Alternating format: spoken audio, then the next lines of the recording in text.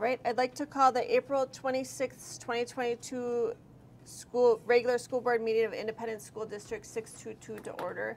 The first item on the agenda is the Pledge of Allegiance.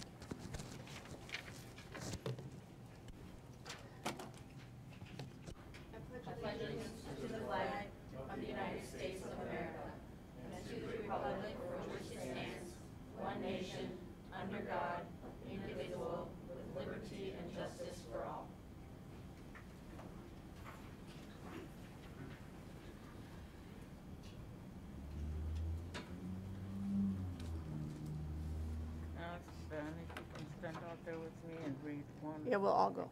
alternate. Yep. Alternate? You want to kick it off and I'll say a few words just to tell us.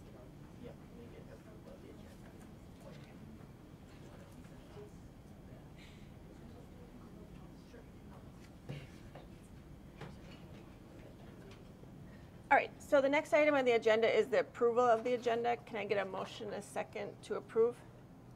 So moved. Okay, moved by Livingston, Second. second by Jarman. All in favor say aye. Aye. And all opposed say nay. Okay, we have an approved agenda, and then we're gonna do the Achievement Excel Awards. And we're gonna all stand down here. Um, Charlotte is gonna read the awards, and then we're just gonna ask the recipients to come up, um, shake hands, and then Marnie is gonna do a picture with each re- recipient. And if you prefer not to shake hands, that's perfectly acceptable. If you prefer not to shake hands, that's perfectly acceptable. Maybe we'll just do a COVID wave a little bit. Okay. However we want to do it. I want to make sure people are comfortable. But we'll, we'll spread out a little bit for our photos. Sound good? All right, shall we go down?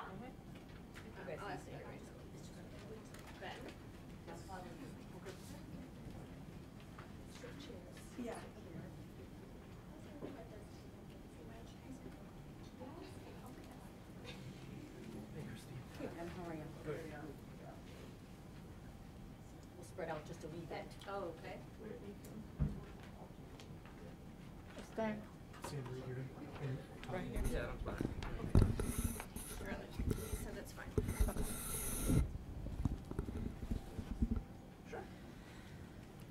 We'll just have you step back here for the photo. Okay. So, uh, excellence in community education leadership, Excel, in parentheses, awards are presented annually to individual and groups for their outstanding contribution to the uh, continuum of lifelong learning in District 622. Our first recipient is Brooke Thrall is receiving the Community Educator Award. She's a top-notch educator who is passionate about our youngest learners. In her four years with the district, 622, Brooke has uh, coordinated the early childhood screening screening program and recently expanded her role to include outreach and family engagement. And Brooke channels her energy and passion into connecting families with programs and resources, organizing family events, subbing in the preschool classrooms, and assisting whenever there is uh, needed help. Brooke shows leadership, cooperation, and teamwork in everything she does. And District 20, 622 early learning has flourished because of her leadership. All right. We'll do a little bit way. You can come stand right in the middle, and then we're gonna gather around and we'll do a photo. You're gonna want, we're trying to spread out just a wee bit, but, uh, And at the end, I here, will you go right here, a I'll step here. Okay, yeah. Photos, so.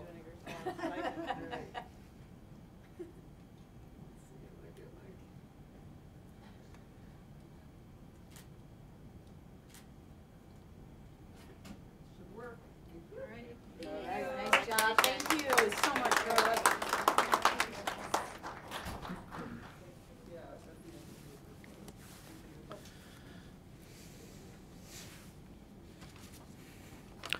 Thank you. Paula Paula Hartley is receiving the Lifelong Learner Award after becoming a teacher in her home country of Colombia. She came to Minnesota through an au pair program and began studying with Harmony Adult Education in 2019. She has earned her GED and passed the Para Pro test. She supports her fellow students in class with kindness and enthusiasm. She is currently volunteering at Castle Elementary, taking ESL classes at Harmony, studying for the citizenship test, and plans to start an interpreter training program this summer. All these steps will help her reach her goal of becoming a teacher here in Minnesota.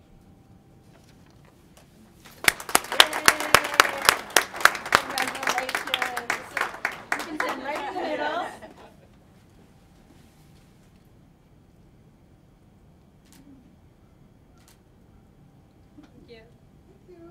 Congratulations. Congrats. We're so lucky to have you.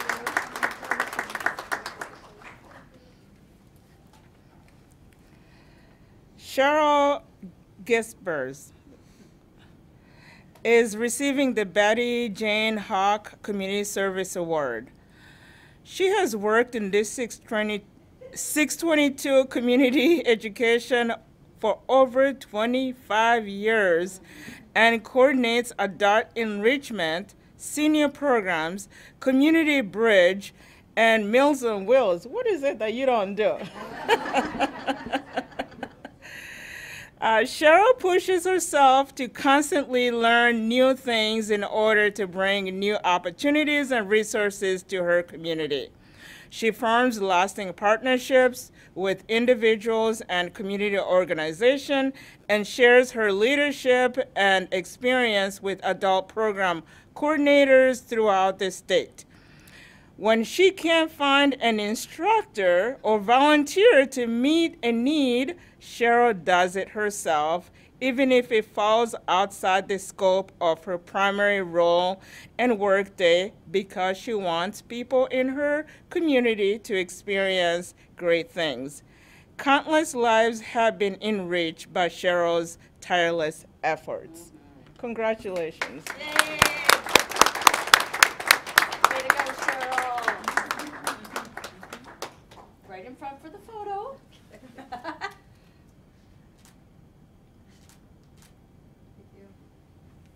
Amazing as always.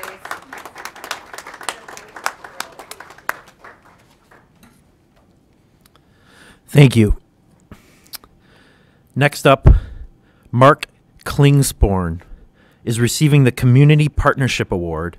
Mark is the Tartan High School boys basketball coach and has been a valuable partner to the District 622 Facility Use Office for the past 15 years. He assists with scheduling, equipment, and event setup and has been a mentor in the community youth, youth coaches, and athletic organization directors. He shared detailed information about how to safely run games, tournaments, and practices during COVID. Mark has run free coach training clinics for community athletic organizations and volunteered his time to offer youth basketball clinics in our district. He has volunteered many weekend hours to supervise the building during youth basketball tournaments. Mark has had a profound impact on our community, both on the basketball court and behind the scenes. Thank you, Mark. Thank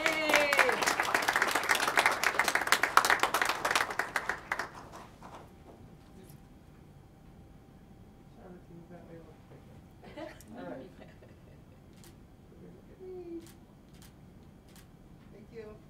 Thanks, Mark.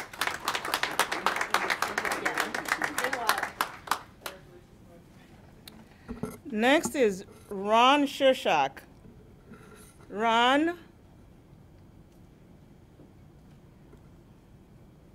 There's Ron.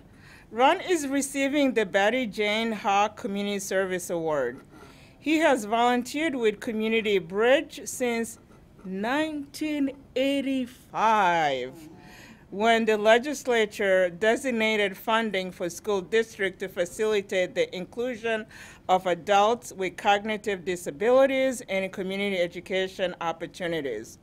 Over the years, Ron has shared his enjoyment and knowledge of the outdoors through camping, hiking, canoeing, fishing, and outdoor cooking.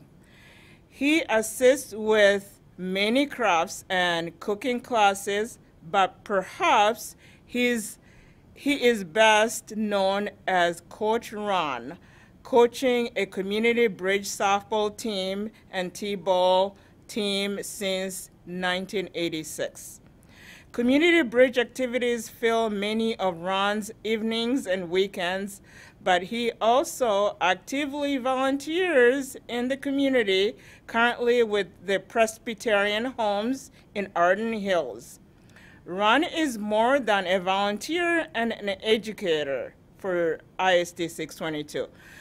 For 37 years, he has been a role model and kindness, patience, and friendship to all of us.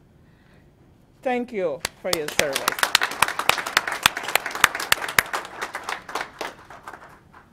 If you want to stand right in front, we'll take your photo. Thank you.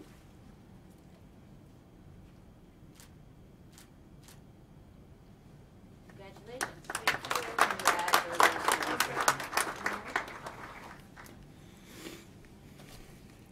Thank you.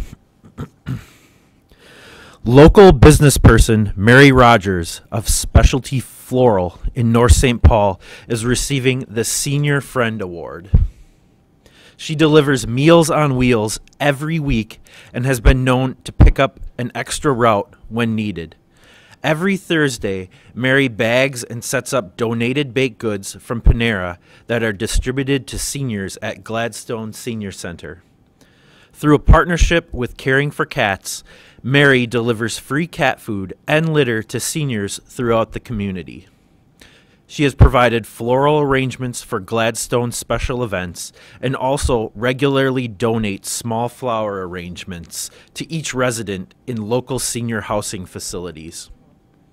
She has also supported District 622 students by donating materials and teaching students to make corsages for the annual STARS banquet, and recently gifted books to each early learning student at Gladstone. Our community is a brighter place because of Mary's generosity with her time, talents, and resources. Thank you, Mary.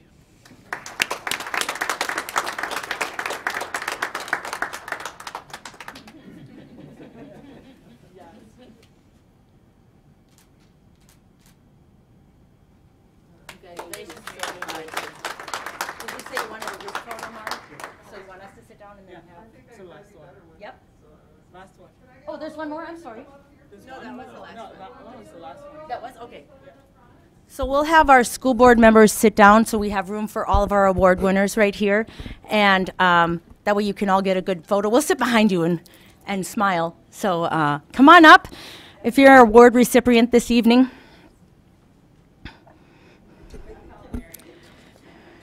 You know, something I thought as you are gathering together, um, I just thought it would be really interesting to share and remind everybody that um, our beloved friend of community education, um, BJ Hawk, and not having her here this year, it's so wonderful. Uh, since she passed away, you know, this is, I think, our first award ceremony since she hasn't been here.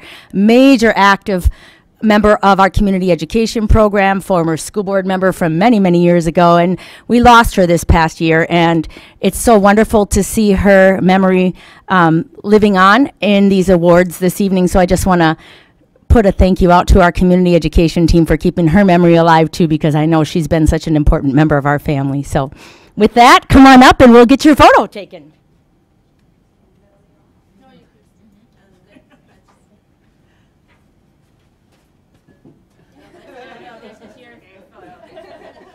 Maybe board members want to just stand up on it. That way at least background photo. we can do- Students, come forward a little bit. We need to make sure you're seen. Squeeze in between. We need your faces. We need your beautiful faces. Charlotte, go that way. No, Charlotte, go between Mark and, Oh yeah, there you go. Well, no, you were right behind Mark though. I mean, All right, now I've got You to, just had a tall person in front of you. all right. Thank you. Thank you all. Thank you so much for all your leadership.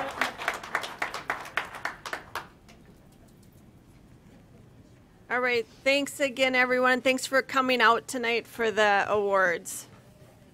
Have a good night.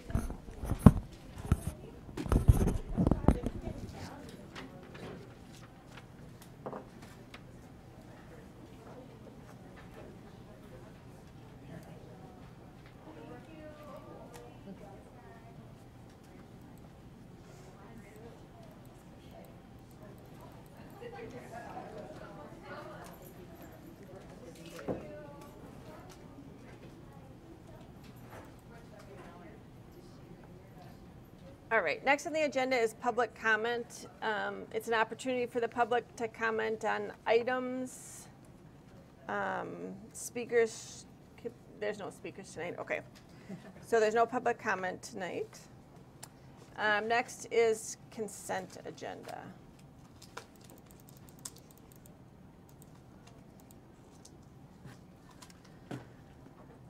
All right, the consent agenda consists of routine items that are acted on in a single consolidated motion without board discussion. Board members have the option of pulling items off the consent agenda if they wish to discuss them or consider them individually.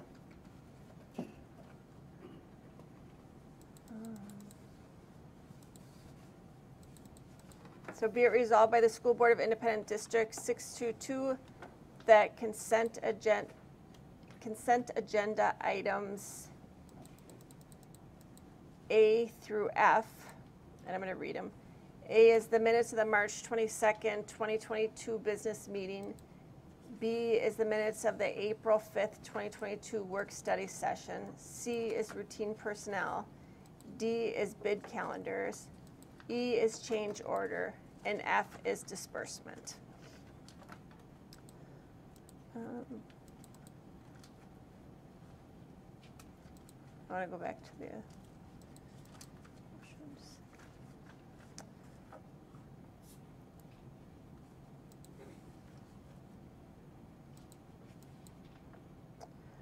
Um, So be it approved as written, and a copy of the agenda is attached to the minutes. So can I get a motion and a second to approve the consent agenda? So moved.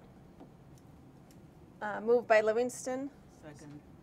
second by Natardi. Any discussion or any items to pull? If not, all in favor say aye. Aye. And all opposed say nay.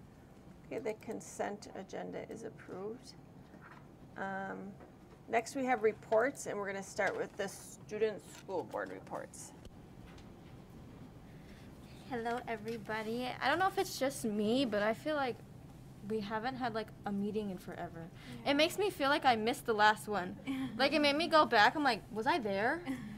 it just feels like forever. But I hope everybody's having a good month, and hopefully everybody's not too down and gloomy about this weird weather we're having with all the rain. But I guess if you think of it, April showers bring May flowers. I guess it makes sense.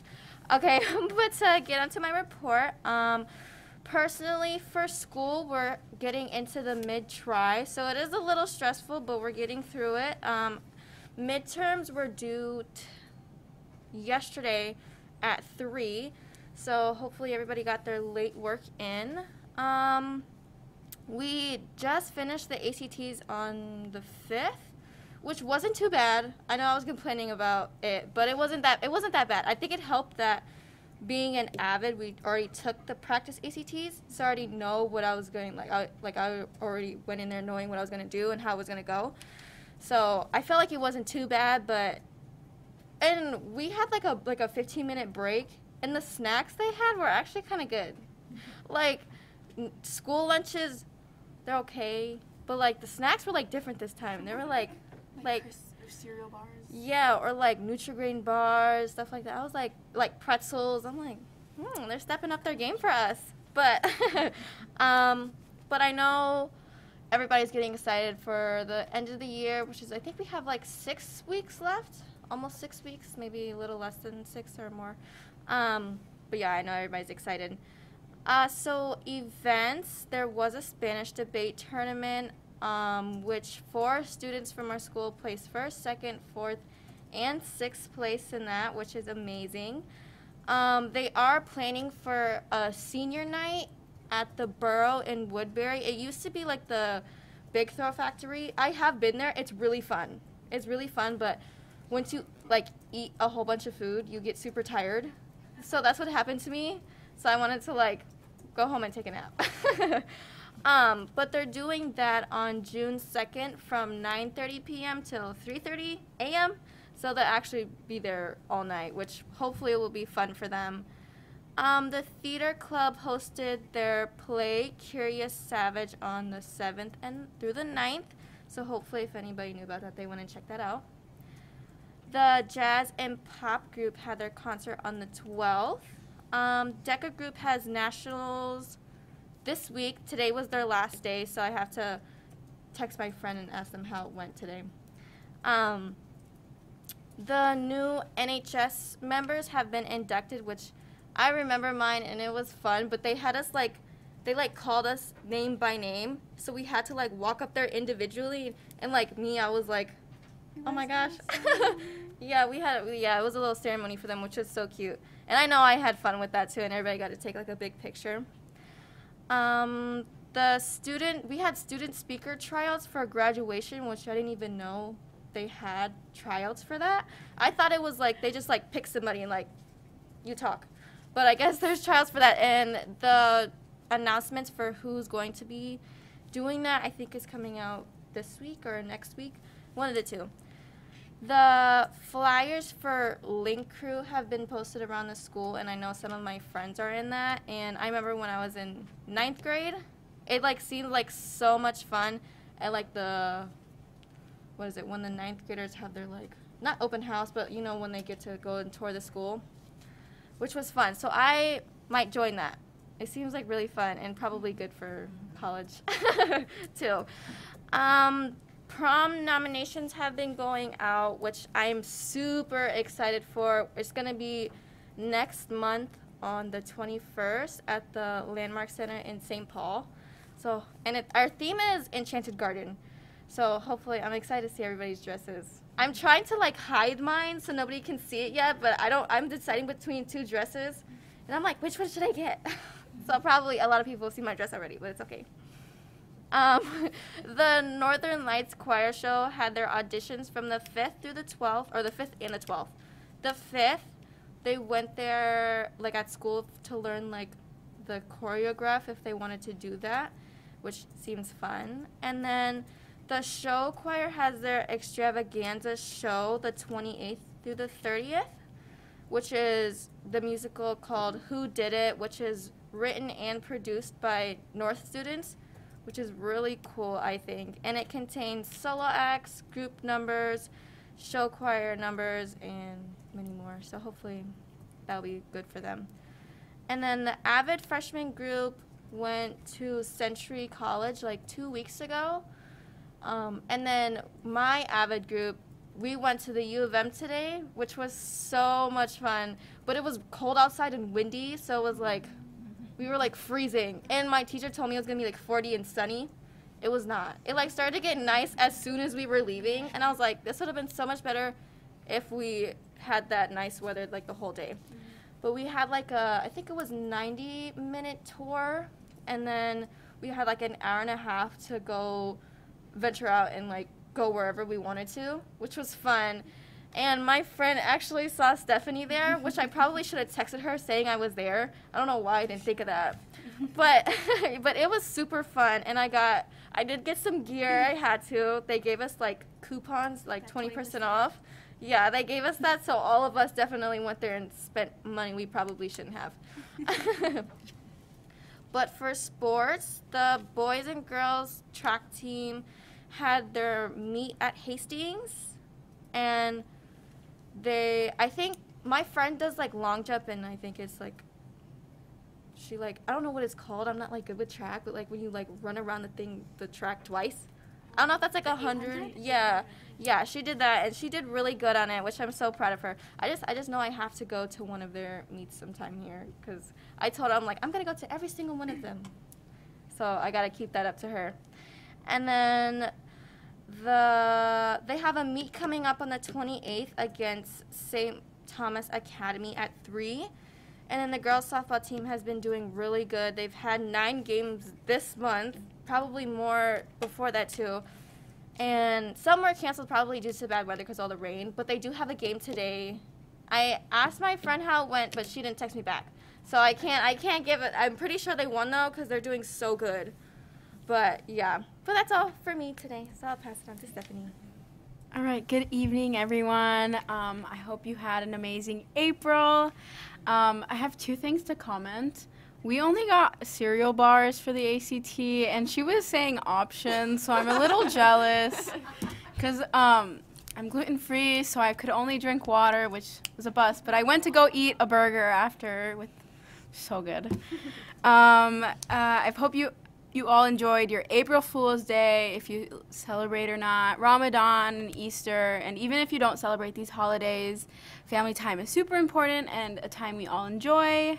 Um, this month, I spent most of it studying, took the ACT and four midterms in in the span of one week. So, I um, was a little under the weather and like not sleeping very well, but it's okay. I did very good on the exams. I'm very, I'm, I'm glad we're gone. We're, we're over it.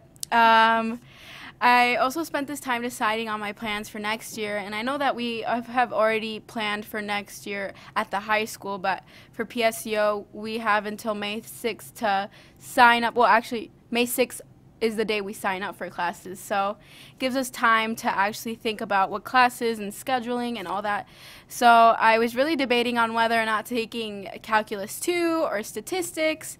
But since there's two semesters, why not take both? Uh, um, I'll be taking Calc 2 in the fall, and then from because it's an easier transition from Calc 1 that I'm currently taking to Calc 2 in the fall, and then statistics in the spring. I'll also be taking chemistry at the college level, college writing, and advanced medical Spanish. Um, I really didn't know how much your schedule opens up senior year after all the requirements are usually completed. So I have a lot of options next year. uh, for the academics of school, like I mentioned before, all juniors took the ACT on April 5th, same as the North. Um, juniors and sophomores had their MCA testing that day, April 5th. Uh, Avid juniors had their Winona trip canceled, unfortunately, but luckily they were able to schedule a new college tour, I believe, to Eau Claire um, early May. Um, Avid juniors have also started writing their college essays, and I recommend other juniors um, to start as well because the Common App has released their essays for this upcoming year.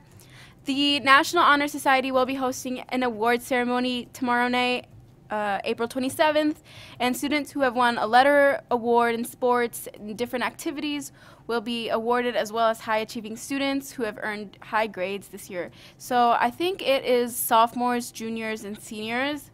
Uh, this is my third year receiving it, so I'm really glad. It's my first year having the ceremony. Um, another thing I was going to comment for for that is we didn't get an NHS induction like in-person ceremony, so um, this is our first time seeing an NHS induction. That soph- the current sophomores will be inducted for next year, which is great. Uh, sports have officially begun today. Badminton is playing North. Softball plays today against South St. Paul, and they also play Simley tomorrow, which is really tough on them because two games, two days is very tough and heavy, especially like with their schoolwork and stuff like that. But props to them. Uh, there are several more games, but it's really hard to keep track. uh, theater is hosting their new show, Legally Blonde. Last week was their opening debut, and I think I'm to watch it this weekend. I haven't watched any of them, so I really, really want to go. Uh, NHS is also hosting a senior send off picnic, and this date is still uh, to be determined. For our senior members, we are trying to contact different restaurants to see if they're able to donate some delicious food for our seniors. This is especially important for us since this is the first time, also in two years, that we are able to celebrate. So, if you know of any restaurants that are willing to send some donations, please let me know. Uh, prom tickets are now on sale. I have that tab open on my computer so I can like let my mom know. Uh, this a CIS Spanish group headed over to the U of M about two weeks ago, and they were able to take a Spanish lecture and like, like all dance in a hall together. take like salsa lessons, I think they told me. And they also took a tour around the school. I'm sure they had that one hour and 30 minutes of time to like wander around the school. And I was able to run into them and see some good friends. They came up to me. I was like, Am I dreaming? Like someone pinched me. Like this is weird seeing people from the high school at the U. But it's, it's a cool experience. It's really cool. DECA uh, was ranked top 10 ha- hospitality in the nation at, at the national or international competition in Atlanta, Georgia. So I was really glad they. Is, I'm really proud of them. I have a lot of friends in DECA as well. So for them to be able to be ranked this high is so so like good for for them. For Tartan overall, unfortunately, there has been a rise in fights between some students. It has it is really hard to see this happening, especially in the last trimester of the school with only a few weeks left to go. Hallway expectations were retaught on Monday in all classes, and administration and su- st- support staff are taking turns officing the hallways to help support positive behavior choices. Last week, COVID cases were about six student cases and zero staff cases, which is really good. Uh, compared to the week before, there were uh, four student cases, so it's a small rise, but not much to worry about. Students are still encouraged to wear their masks and I did get to visit the building last Friday, and I was able to see various, various students wearing their masks. So um, I'm glad to see that like mix of both, you know. Some important dates, if you guys wanted, uh, academic award ceremony is tomorrow, April 27th. There, the Avid uh, 9th to 11 banquet is May 9th. Prom, May 14th. Eighth grade visit, which eighth graders, I believe, from Skyview and Maplewood visit May 17th. Uh, Avid Senior Banquet is May 23rd. And the senior graduation is June 2nd. And that is it for me. Thanks, you guys. Your reports have become very comprehensive. huh? Yes, indeed, I love it. Um, any comments or questions?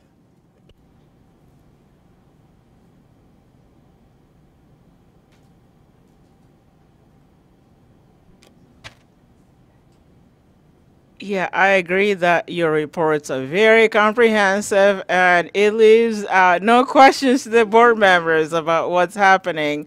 But my question is about um, uh, so so when you started, you talked about how it's been you, you know spring has we have had a long spring with you know we all want spring to come, but it's been winter. But um, but also uh, during this time, uh, that's when the masks have been lifted and everything.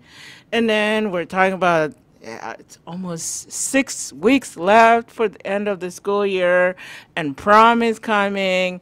What are the moods like at, at the at the schools and um, uh, as far as uh, that's concerned, uh, in, in in lifting up the spirits of of uh, the students? Being able to gather, uh, because I I'm assuming last year there was no prom, maybe, no, uh, there was. It was a mask. There was it was. One, yeah. Yeah. Okay. Yeah, but maybe the year before there was and So yeah. So so things are getting better now, and and so wh- what's the mood at the schools at this at the schools right now at both high schools? Um, at my school, I know everybody is super excited for prom. Um, probably getting a little anxious because I know some people still haven't found their dress yet. So there's just like, I'm like, you gotta, you gotta get on it. It's, it's in a month, but you still have some time. But I think everybody like, compared to like second try and like first try, everybody's like, they're like, it's kind of like half and half. Like everybody's stressed, but then some people are like, just like super excited for school to end which I'm pretty sure all students are excited for school to end. But um, moods wise, I feel like everybody's like happy and like cheerful, not not like super down and all that stuff. Not having like fights like Tartan is. not to like throw shade on your school, but but yeah, I think everybody everybody's good at my school. Yeah, um, yeah. I don't. I don't um, support their the, all the fights. I don't like that. Just especially like it's unnecessary. I believe, but uh, yeah, I think students are really excited for summer to come. I feel like we're all tired of the second winter that we're having, but with having the mask taken, like lifted, the mask mandate, uh, I think it was encouraging for students, especially for us to think that it's like things are going back to normal. Uh, but yeah, I think we're really excited for prom, graduation. Seniors are so excited for prom and their graduation and being able to have these traditions that haven't been normal or haven't been celebrated the past two years. I think it's it's good for them to really anticipate and be excited. And uh, in NHS, we had a meeting. They were able to like let the seniors know like these are your last few weeks, but because these are your last few weeks, it doesn't mean your behavior should change. Like you are still a student and uh, you don't graduate until June second, and so be kind because you were you have been kind this whole year, so it doesn't take any more effort to be kind these last few weeks, and that's I, th- I think that's the same I same thing I can say, and so much staff just push through it. I know we're all tired. AP exams are coming up. So many things are coming up, final exams and stuff like that. So just we're seeing the end like the light at the end of the road. So yeah. I think we're close to the finish line and that's what is making us happy.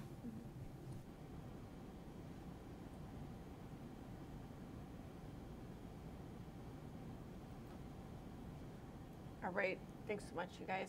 Good luck with all your exams. All right, next on the agenda, we have, uh, is it operations? Yeah, operations and the construction update. Sarah. Well, thank you, Madam Chair, members of the board, superintendent. We are excited to be here tonight. I know we've been going through years of planning and construction. Thought it would be a good time to share with you and the community um, where we are currently with the construction and the phases of planning. Um, because we're about to head into a really big transitional summer here. And I'm sure everybody in the community has also seen construction work starting at our high schools with earth moving and building construction starting there. I'm excited to be standing here with Jenna Peters. She has been living and breathing all the planning meetings and construction over the last several years. So it's very fitting to have her present this work that she's been doing so much of over the last several years. So I'm going to turn it over to Jenna to present where we are currently with all of our work. Well, thank you. Thank you all for having us today. Um, yeah, as Sarah said, we're super excited. Uh, it feels like it's been um, a long time coming, and it's fun to be up here to start to report on nearing some completion for some of our projects. And so, as we get started today, just a reminder that when that bond passed back in 2019, these were some of the big priorities we had as we looked at renovation and construction in our buildings. We wanted to update safety and security functions. We really had an eye on innovative and flexible learning spaces for our students and for our teachers. Uh, focus on healthy environments through things like natural lighting, updated mechanical and electrical systems, and of course, outdoor site improvements. And so, as you all recall, uh, phase one was back in 2018 2019 with uh, construction and renovation at Richardson and Castle, and that was prior to that bond passing in 2019. And we have been knee deep, well, waist deep or shoulder deep, probably is probably a better way to describe it, in phase two. Um, with a focus on the buildings that you see there Carver Elementary School, John Glenn, Justice Alan Page Elementary, Eagle Point Elementary, Skyview Middle School, and then we have secure entry projects that have been happening at Gladstone Weaver and Cowern. And as we kind of wrap up in this phase two, we're seeing the light at the end of the tunnel, as the students said. Um, we are heading into phase three with construction starting at North High School and at Tartan High School. So I was telling Sarah as we were creating this presentation tonight, this is maybe my favorite slide. Um, it kind of speaks to how much we have been, how much we've, how much action's been happening here over the last couple of years. And so you can see the logos of the buildings that have been under renovation or construction over these last few years. So this is phase two, and happy and excited to report we are nearing completion or at completion on some of these buildings. So I just wanted to give you a, just a kind of a school by school quick update on where things are at with each of these phase two projects. And so I'll start with Carver Elementary. You're taking a look at the main entry there as you look straight on, and then you can see that classroom addition to the right. At Carver, um, way back in spring 2020 is when construction started there. Um, and it has gone in phases, as you, as you all are well aware. Um, for example, uh, just moved into that classroom addition last fall. And so they are getting used to their new spaces. You can see an example of one of their classroom spaces there. And we are excited. We are in the final phase of construction there at the building. The pre-K area where the former kindergarten classrooms are or were, um, that's what's being um, completed now. Um, and we are at temporary occupancy at that building. And so the school will be ready to host some summer programming this summer, which will be exciting to have more students experience that school. And our school board just had a retreat there on Sunday. Oh, yeah, that's right. Yeah. Good. So they got a little bit of a look at it. Yep. Excellent. Here are just a few pictures from inside Carver, which you may have seen, but you can see in the top left there, that is the uh, view of the new media center. And then you can see some examples of some classroom and some flexible learning spaces at Carver Elementary. Eagle Point Elementary, super exciting to be over there right now. So that is one of our brand new buildings being built on the current Eagle Point site. And that view is actually the back of the building where the bus loop will be. Um, the day actually we went to take pictures, they were doing concrete work on the front side of the building, so we couldn't get a picture of the front. But you can see to the left there, that is the cafeteria space. That area in the middle is the entry um, coming off of buses in the morning, and that area to the right is the classroom tower. So Eagle Point also began construction back in 2020. It was back in the late summer of 2020. As I mentioned, it's a brand new building, and we are expecting it to be substantially complete and achieve temporary occupancy here in May. Um, a lot of the work then will turn at Eagle Point to that existing building, and that, that work happens this summer as that building is demolished, and then that paves the way for the site work that needs to happen um, for the new building. But we are expecting Eagle Point, the new Eagle Point, to be fully operational for the coming school year, so we're super excited about that. Just a few additional pictures of Eagle Point. Um, the, the middle picture shows it's weird to see a cafeteria without tables in it, but that is the cafeteria space. You can see it's a very bright space. If you've been to Eagle Point yet, natural light was a high priority in all of our buildings, and I think it really shines through at Eagle Point and our new Justice Alan Page Elementary Schools. Um, and you can also see then some examples of some classroom and flexible learning areas. Justice Alan Page is next, and there's a view of the very front of the building. Um, Justice Alan Page, there he is, um, was designed as a, it's a sibling school, meaning it has the same floor plan as the new Eagle Point, um, just different color palette throughout. So if you were to walk through the, the floor plan of Justice Alan Page, you're essentially walking Eagle Point as well. You can see Justice Page in the picture there. We had him and his family out for a tour back in March and that's him sitting in the media center. Um, he was, it was an amazing tour. He was absolutely overcome and super proud and honored to be, to have this building named for him. Um, construction began there back in summer of 2020 as well, and it is currently substantially complete. And we do have complete, and we do have temporary occupancy of Justice Alan Page Elementary School. Building commissioning is in progress now, and we plan to host summer 2022 programming at this site. So it'll be awesome to get kids into that space and get, get them into one of our brand new buildings this summer. Including Freedom School, yeah. So that's going to be that's going to be fun. We were just on site last week, actually touring with the program coordinators as they're deciding on spaces and where they're going to be for the summer. So there's a few more pictures of Justice Alan Page. Um, the picture on the left shows kind of an example of one of the classroom pods. The one of the important things to the core planning team and the user groups was that this building have a, a strong community feel, and so the the classrooms are organized around common learning areas, but meant to kind of feel like a small community field, even though it's a larger school. So you're taking a look at one of the classroom areas there. Um, in the middle picture is a picture of the gym, and on the right is a picture of the media center. Again, weird to kind of see the media center without bookshelves in it yet, but um, we actually have furniture delivery um, happening now as we speak at Justice Alan Page, so furniture is going in. And Eagle Point Furniture is slated to come in here in May, so we're cruising right along. Moving on, John Glenn Middle School, you can see that's a picture of the front entry to the building. And that construction began way back in spring of 2020, and again, phased construction to work around through the school year and working around students and um, classrooms moving around. We're expecting substantial completion at, Jo- at John Glenn um, in the final phase happening in August here of 2022, and we expect it to be open and operational for the school year coming up. As the fall comes in, it will be more about punch list items, those last minute things and those last things, paints, things that need to, be- rubber stripping that needs to be fixed, those little fixes that happen at the end of a construction project. But we're excited to open John Glenn, fully renovated John Glenn for 2022-23. And here are some photos of John Glenn. I love this one on the left. If any of you have been, were at the old pool at John Glenn, that gym is actually what the old pool was. So that was super fun to watch under construction. Kind of amazing what what architects and builders can do with a space. Um, that middle picture shows one of the classrooms, and then you can see on the right um, part of their common learning areas at John Glenn as well. Skyview Middle School, there's a picture as you're driving up to the front entry of the building. They just actually recently completed sort of that um, panel work on the pool. That large volume is the pool area there. Um, that construction began in the fall of 2020. And of course, there's been also phased construction. We, we say it's been a complicated pro- project, and the teams there have been fantastic about working with our construction. It's been complicated because we have an elementary school in there as well as a middle school, and they've worked really incredibly well together as they've had to move around within the building to accommodate for construction. So that's been fantastic.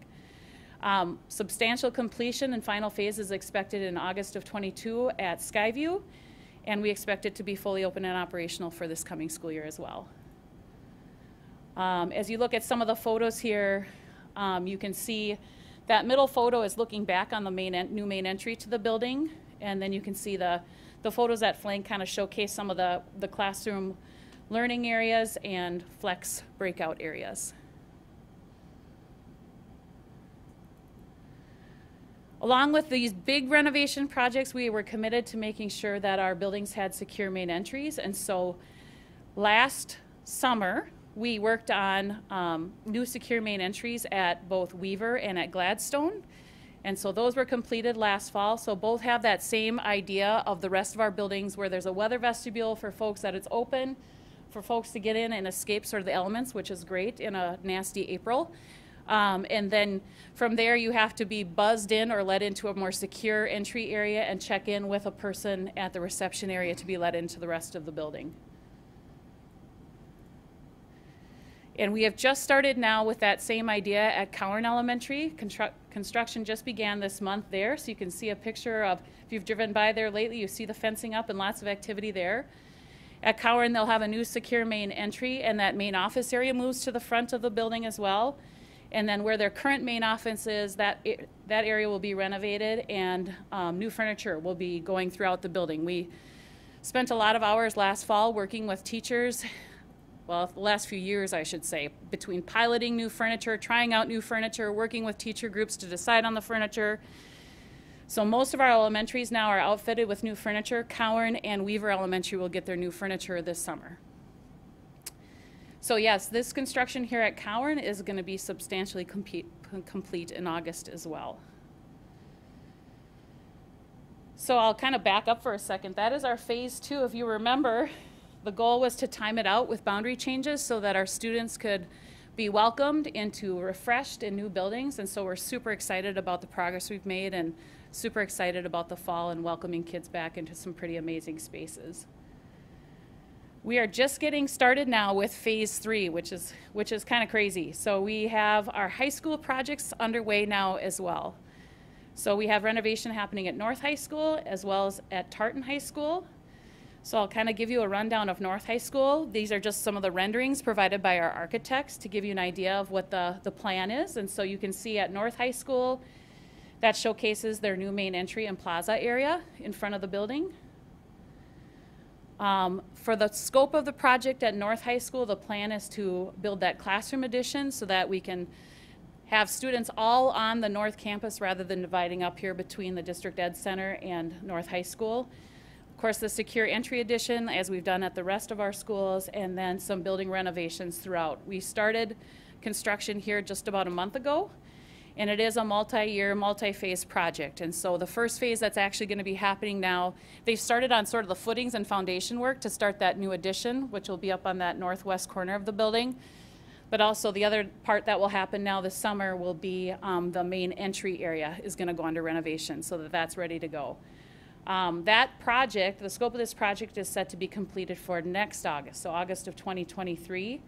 Um, this year it will host summer programming um, for our buildings. Um, with all of the construction happening throughout our district, we've got a few sites for summer programming and they will be busy sites. Um, but we knew that going into this summer with so much excitement and so much transition and so much construction happening. We knew this was going to be a busy summer for summer programming and and sites working. So, but we're excited that North will have a space and can host some of our secondary summer programming.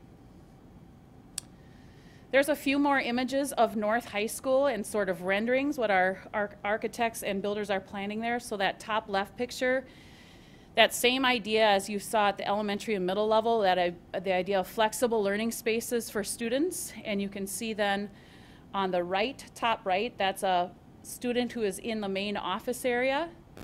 And then on the bottom right, again, more examples of sort of that flexible learning area. And the bottom left is the media, uh, a view of the media center. There was a lot of time spent at the high schools with the flexible learning areas. Just we're trying to design for years and years down the road, and with online learning becoming a thing, we needed to provide lots of different spaces for students to do learning, and so I think we're achieving that at North. And as you will see at Tartan High School, so here is a image of Tartan High School as it completes. So very weird to not see the round towers. As we talk about just the scope of Tartan High School, so a classroom addition will go on, there'll be an athletics addition, and major building renovations. This will be a big project. That project started back in February. Um, this summer it will be the, the, the high school will be closed due to construction. Um, water needs to be shut off, et cetera. So Tartan will be closed for the summer, but this project goes through spring of 2025. It's a pretty big, pretty big project. We kind of joke among the facilities team that all of our other projects are kind of preparing us for Tartan. It's going to be a, it's going to be a fun one, but it's going to be transformative for the for this high school. Um, as you can see the images there, um, some of the renderings there, you can see in the top left, there's an example of sort of that flexible learning space. Um, that top right image is a view of the media center. Um, both high schools really wanted to have that media center kind of almost student union commons feel. Um, so you could only you could host large group meetings, you could have small groups, kids could be working in there individually with lots of visibility throughout. Um, that bottom right um, is a view into sort of their cafeteria commons, upper and lower level. It'll open up tremendously. Um, if you've been to Tartan, you know that that's kind of a dark building with narrow hallways, and so the, a, a, lot of emphasis in putting in how can we open this place up and create lots of natural light in this building. And then on the bottom left, you can see part of the athletics addition, and that's a view of the new main gym. So as we kind of wrap up that phase two, as, as Sarah mentioned, um, we are hard at work with the transitions um, and the plans that need to be made to kind of get everyone settled in and ready to go for the fall. So we're moving on from construction to new and renovated buildings. And so as we are planning, we have different teams focused on planning the logistics of all these moves. And um, we're anticipating about over 300 staff moving to different buildings as you look at all the different employee groups as you look at kind of how the staffing is going, all the district buildings will be impacted with some staff moving in or out or both. Um, as we know, we have three of our buildings closing. Um, Maplewood Middle, Oakdale, and Webster, and one program closing. Skyview Elementary will close, but Skyview Middle will become, that building will become a full middle school. Of course, we'll have Justice Alan Page and Eagle Point opening up, those new buildings. And then, as I've mentioned, major renovations wrapping up at four buildings. Summer programming is something we need to work through this summer as we plan all these transitions. Um, I mentioned that all of our elementary schools and our middle schools will all have their new furniture by the time school starts.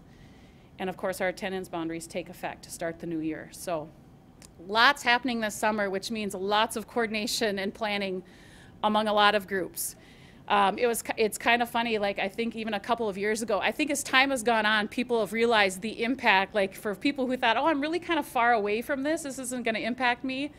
As we've gotten closer, everyone's really realizing like this impacts us all. So it really is a team effort as we, as we coordinate all this transition work with all of the groups you can see listed there.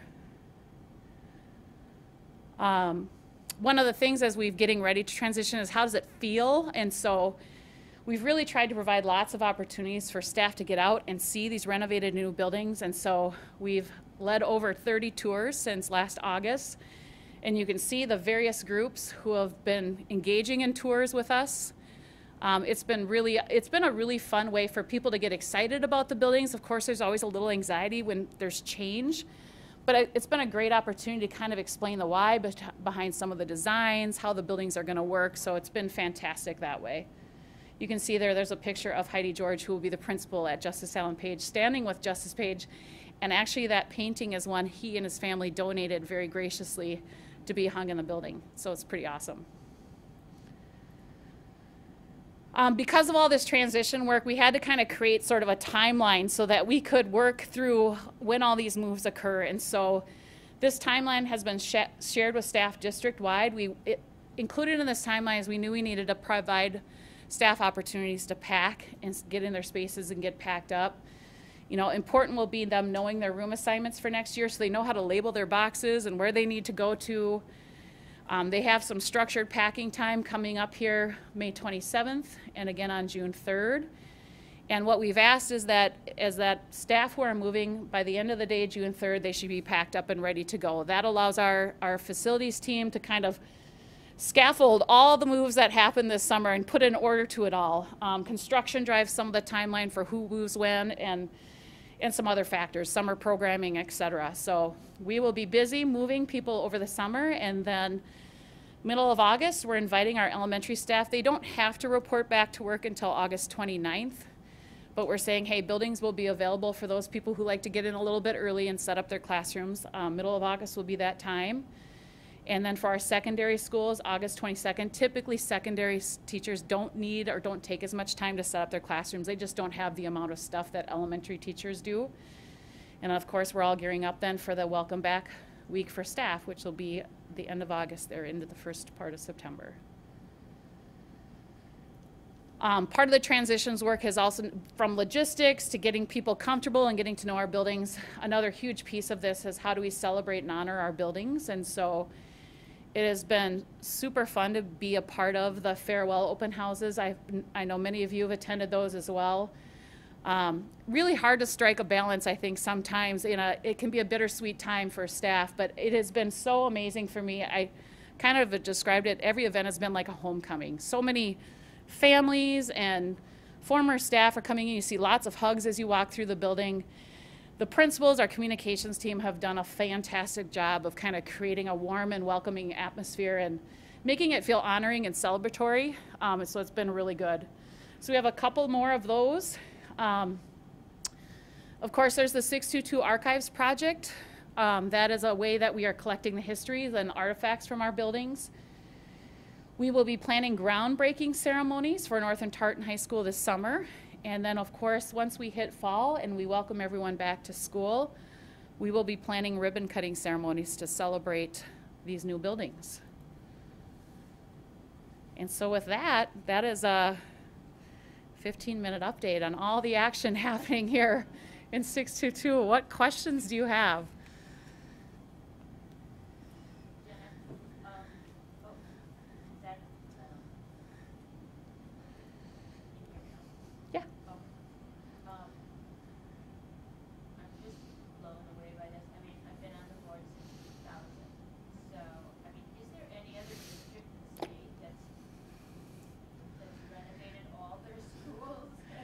That is a great question. I'm not aware. Like the, it, the what we're able to do is is pretty incredible and pretty fantastic. It's, like I said, that slide where you see all the things happening at once. Yeah, it is pretty exciting. I know back in 2019, there was a big emphasis. We want all of our kids to experience something new and innovative in their learning spaces. So it's pretty exciting that we're going to be able to offer that.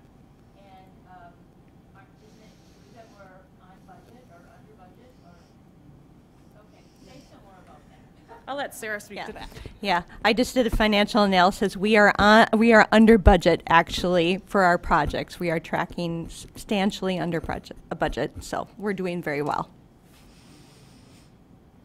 And, the coordination that Jen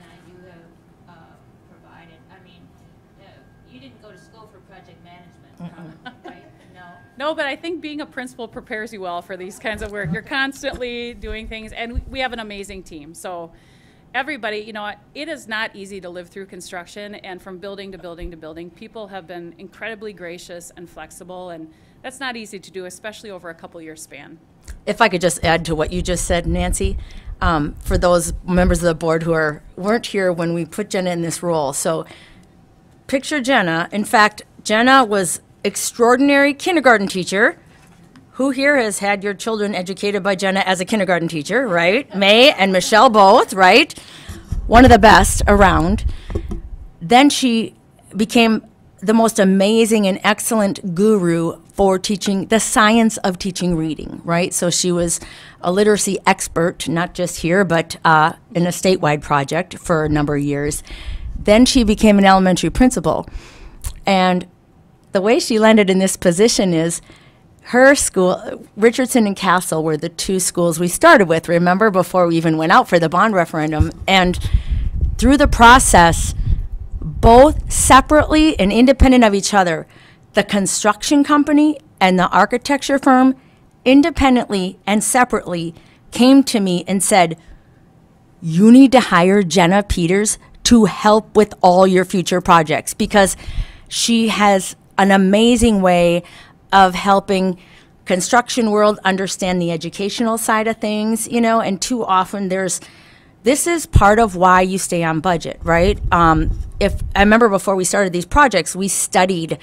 I know there was a big article in about other districts that landed way over budgets and such, and some of the reasons why they went over budget was that if everybody's not at the table before you design a space, so if you're going to design the science wing, have the science teachers be there. If you're going to design a, a kitchen, have the nutrition staff be a part of the planning if you don't do that at the front end and you get halfway down the road building plans and then you suddenly learn that you forgot something that was critically important, it becomes an extra additional cost to go fix it later. You know, those alternate, those add ons, uh, change orders. And so with Jenna's leadership, she spent thousands of hours with teachers and nutrition service and paraprofessionals and all kinds of staff to make sure their voices are heard at the front end. So she's also a big reason why we're on budget with these projects. And who knew when you were a kindergarten teacher, did you ever knew this was? I was listening to you present, and all these facilities and architectural terms were rolling off her tongue. You know, I, I one of my greatest prides is having finding all these gifts and talents that people have that we didn't know they had. They're great. It's wonderful. Yeah, thank you. Yeah, it's been fun. Completely different learning experience, but I love a good learning challenge, so it's been really fun. Well, and it's just, uh, a gift to the community, I mean, it, it just levens the whole enterprise, you know what I mean? I mean, I think, um, everyone's property values increase when we, when we give them, um, great, um, so, and I think learning improves as well, and student pride improves, student behavior improves. with, um, and, and I think there's science to back that up, so, anyway, thank you. Awesome. Thank you. Yeah, thank you for the presentation. I'm really excited to see all the progress that's happening in the schools. Uh, as Christine said, I was uh, at uh, um, Carver uh, over the weekend, and so the progress that's going there, it looks spectacular. So I'm really pleased about that, and also pleased about all the other projects that are going on but I'm especially pleased with the uh, Tartan High School project because my kids went there and I spent many, many years walking through those hallways. And I actually have a friend who graduated from Tartan High School over 30 years ago, and she said that school still looks the same, you know, from over 35 years ago. So it's really uh, great to see that it's uh, it's going to finally be in the 21st century, um, and um, um, um, so that our kids can be uh, uh, in good learning environment that's um, similar to other uh, school districts in the in the surrounding areas. But my question is about, um, uh, so you talked about all the good things that were happening and, and all that. And I'm pretty sure if you had more time, you could have uh, talked to us about some, some of the summary of the challenges that you have had. And I'm specifically uh, interested in learning about uh, challenges in supply chain because we've all heard about supply chain and we've also heard about labor shortages. So, can you talk a little bit about that? I can talk a little bit about that, and Sarah could probably expand on that a little bit. You know, I think in in a lot of ways, our construction team and our architectural teams have been fantastic in trying to get out in front of as much as they can. Um, I think some of our projects kind of starting right as the pandemic um, was going, already things were on order, and so that helped tremendously as well. There's certainly there are certainly things like you've we've run into hiccups along the way where suddenly a certain part won't be available, and we're like, that kind of then has a domino effect on what can be done. But I think our teams have done an amazing job, amazing job of pivoting and like, well, then we got to focus here and keep moving forward.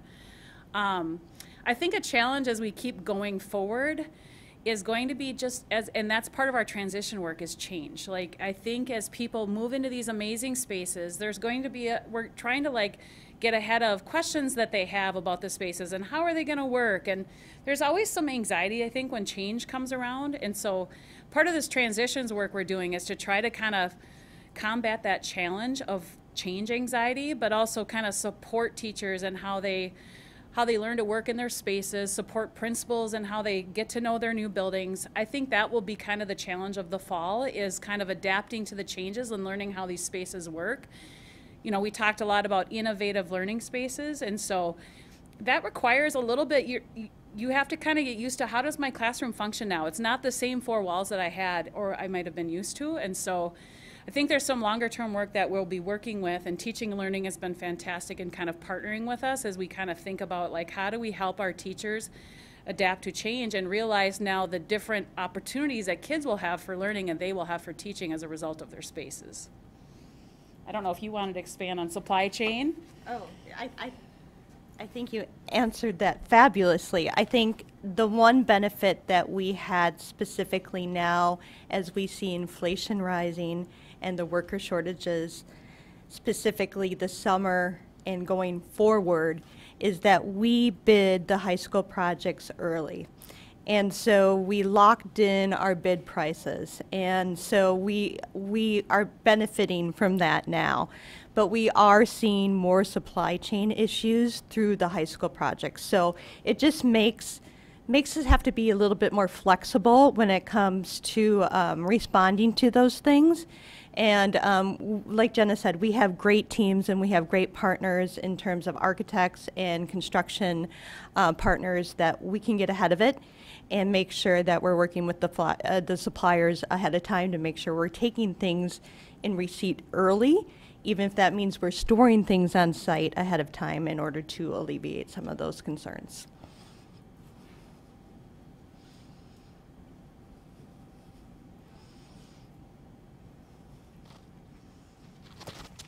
There was a, uh, I, think both the middle schools that will be around next year had maybe some kind of an open house um, for students that are coming in. Um, moving to that school, I guess, was specifically designed for those students. Anyway, what whatever it was exactly, uh, I attended the one at John Glenn. It was really cool. It was really electric. Um, I had not been in John Glenn since before it was transformed, and it's uh, alien world. it's so weird. Um, So uh, now I'm going to do a quick lightning round. I just wanted to give kudos. That was a really amazing. Every all the families were really just pumped, and they don't go to that school. And I know there's a lot of apprehension about moving over in the middle of middle school to a new middle school. That was really cool to see. Um, but I got a lightning round of questions, so you don't you, your answers can be short and succinct. Um, going back to uh, John Glenn, um, like I was saying before, there was um, I know parts of the old building are still there, but you completely covered them up and made everything blend with everything that's new, which is really cool. And I wasn't expecting that. Um, is that same kind of thing going to be happening at like North, which is kind of getting the uh, addition, or like say Cowern that will have um, you know the new front of the building will kind of like the the the floors match all the way through, even though we're kind of like keeping uh, the, a lot of the same parts, but they're going to get like a facelift. Yeah, I, short answer, yes. Um, architects really do, like, they've done renovation projects before, which is very different than building new. And so they do pay attention to the existing color palette, how might they play off of that, what's gonna stay and what's gonna be new, and how do they kind of match that. So it's, it is gonna look newer than some of the older spaces, but how does it blend together, as you said? And you, John Glenn is a great example of Is really, um, I thought I was, I thought I was, I thought it was deja vu when I was walking into um, the old karate classes that we used to go to, and um, no, I was like, I did not take karate lessons here um, five years ago or whatever. Um, I I'm probably asked this before, and I just forgot. Um, the glass like walls. Um, what what's the thought behind those again? Couple things. Um, so one, when we talk about safety and security, the best thing that we can do from a safety standpoint is have eyes on kids and make relationships with kids. And so a high priority was to have lots of visibility throughout the buildings. And so that would be number one. That's kind of a proactive way to kind of address some of those everyday things, like you heard our high school kids say, like fights and bullying and some of those very common safety threats.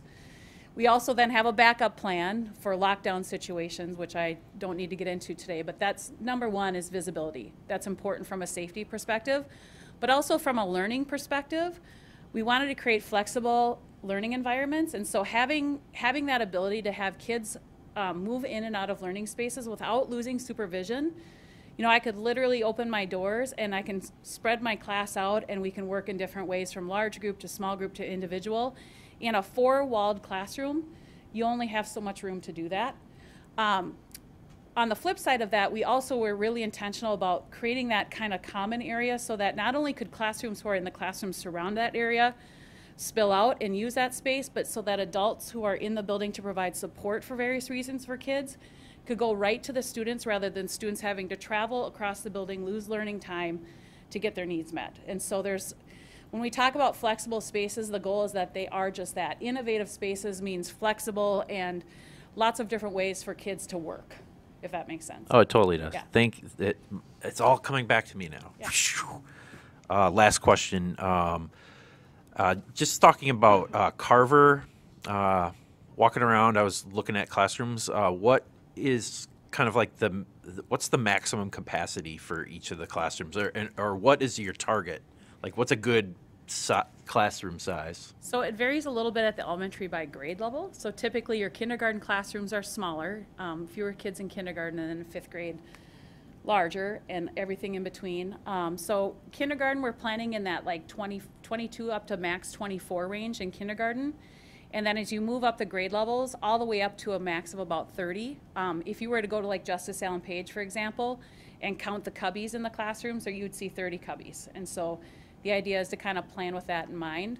Um, the furniture is flexible enough that we will seat enough for 30 kids in there, but it can be used for multiple purposes. So things that tables can be used for tables or desks. It moves around, it shifts in different formations. So again, while we plan for a max in mind for just how much square footage do we need to make these buildings work, the really the idea is how much flexibility can we create? Because we know class sizes don't come in those beautiful chunks of Oh, sure. 28, right? So And I'll just add too, we, we do try to avoid any elementary class getting that big, but you wouldn't want to have the building, the room not designed to be able to handle it if someone came in late in the year or something got added. But our average class sizes are far below that. But we also know in the planning, we don't want to accidentally not have a cubby for somebody if you ended up a little bit over that. But we actually, our class sizes typically run far below that.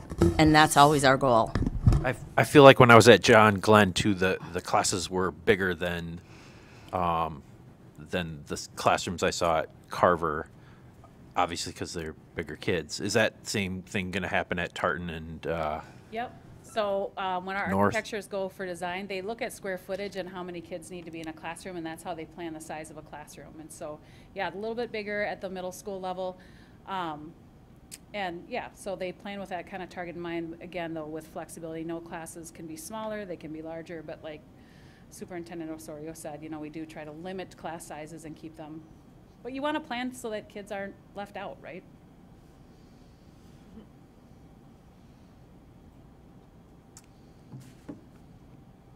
Um, I was just wondering if we, if we have an update on what we're gonna do with uh, Oakdale Elementary and also Maplewood Middle School. So Oakdale Elementary and Maplewood Middle School are part, are set to be demolished. Um, that was part of the original plan back when the referendum was passed. But we don't have a, a set day yet, do we? Did I miss? Um, Maplewood will be demolished uh, sometime this summer uh, to coincide with um, the site work that needs to occur. Oakdale will probably occur this fall. Okay, thank you.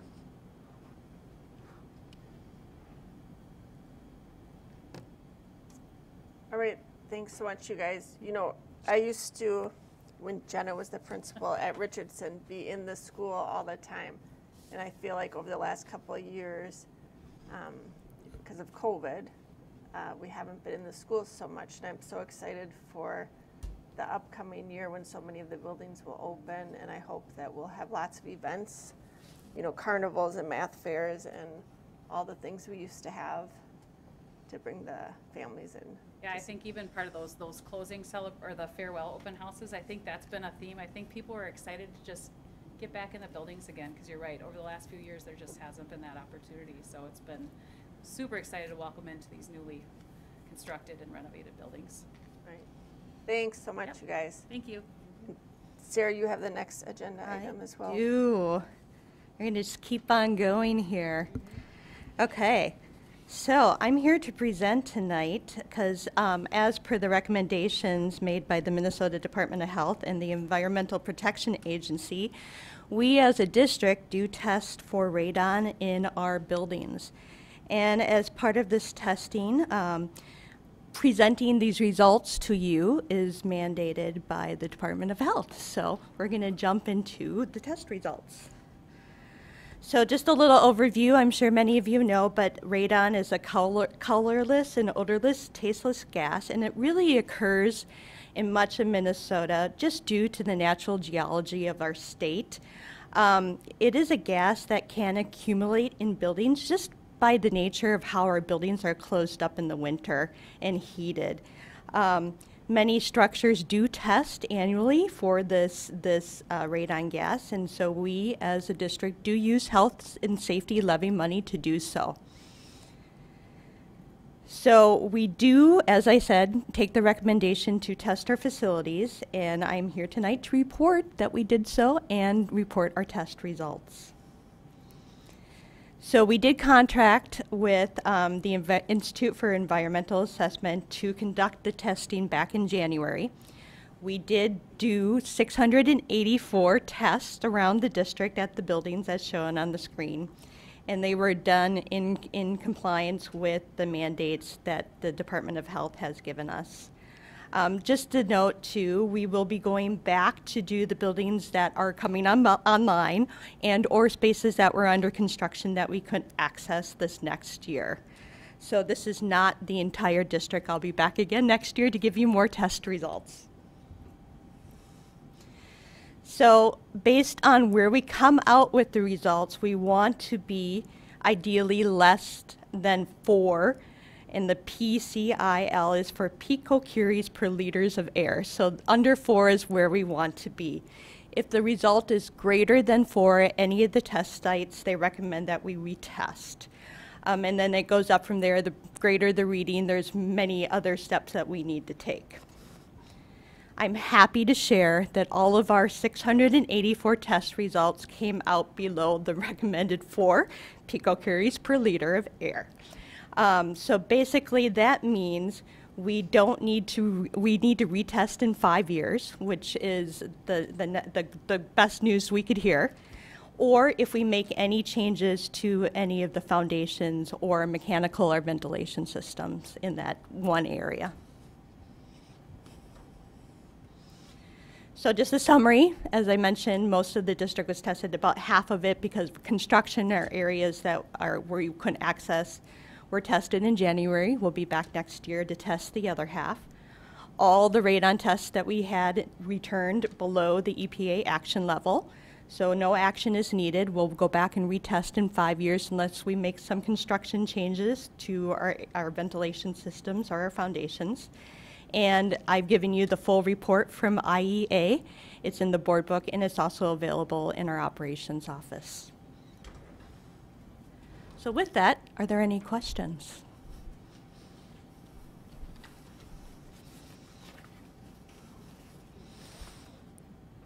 Okay.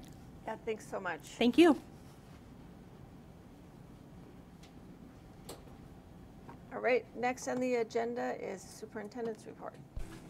Okay, well, thank you, everyone. Um, my, my update will just be brief here. Um, just three quick things I wanted to share, well, four. I just wanted to thank the board for coming together for, you know, some team building this weekend. We did do a retreat uh, on Sunday, and we ended up really largely dedicating it to just getting to know each other better and doing some team building, which I, I don't know about you, but I really enjoyed. It was fun.